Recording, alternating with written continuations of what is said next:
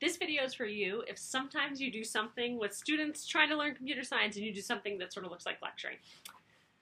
First tip, just don't lecture. Okay, so there's a big range of stuff that can be considered active learning. But in general, these things that don't just involve students listening, but involve students doing things, talking to each other, solving problems, those are much more effective for students and their eventual learning.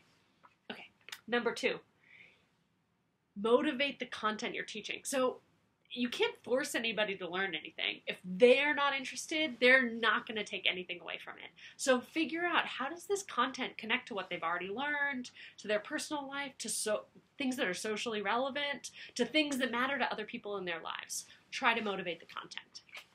Number 3. Make your learning goals for students explicit. So, if they don't know what you want them to learn, what are the chances they're going to learn it really well? Okay, so try and be as explicit as possible about what you want students to understand, what you want students to be able to do. Make that concrete and explicit. Number four, try and encourage questions. This can be super helpful. I'll say, you know, like, okay, what about that didn't make sense? Can anybody ask any questions?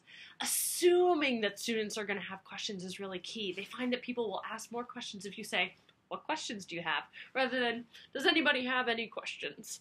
Uh, the second one assumes that, you know, well, if you're a fool or you haven't been paying attention, you might have questions. And the first one says, oh, hit me. What have you got? What are the questions? Those questions are going to help other people understand um, this same content more deeply. Okay, force students to self assess. Even simple stuff like, hey, I just tried to explain this thing to you. Did it make sense? Give me a thumbs up, thumbs down.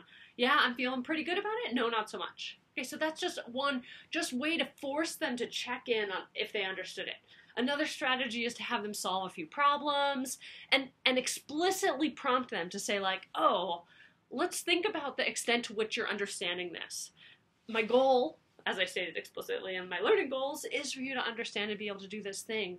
You know, what additional work might be necessary for you to get to the place where you want you to be. Number six, ask students for feedback.